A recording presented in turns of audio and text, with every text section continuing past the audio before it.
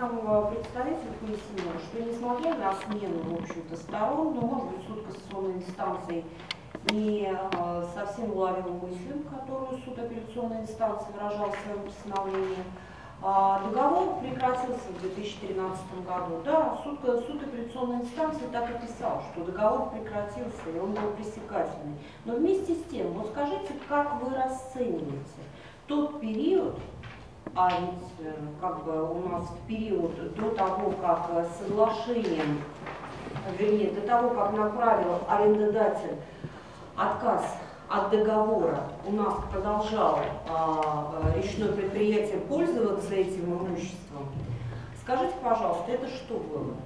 Договор пролонгировался на неопределенный срок или что это было вообще?